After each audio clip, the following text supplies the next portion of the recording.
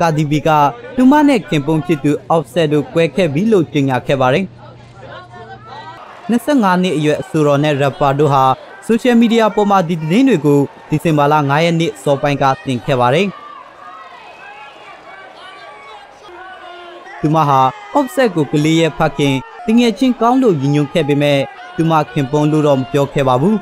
သူကဒါဟာဘု து အမားမှမဟုတ်ပဲ သူတို့နှစ်ဦးဟာမိတ်ဆွေကောင်းအဖြစ်ရှိနေအောင်မယ်လို့ထက်သွင်းပြောထားပါတယ်ကာဒီဟာ rapper offset နဲ့ပြီးခဲ့တဲ့စက်တင်ဘာလကအတလန်တာမှာလူဝက်စွာလက်ထပ်ခဲ့တာပါ You can f with me if you wanted to. These offset ဟာမီကိုဟီဟော့အဖွဲ့ဝင်ပါသူတို့မှာကာချာကီရာရီဆတ်ဖက်ဆိုတဲ့ဇွန်လ2018ကမွေးခဲ့တဲ့သမီးလေးရှိပါတယ်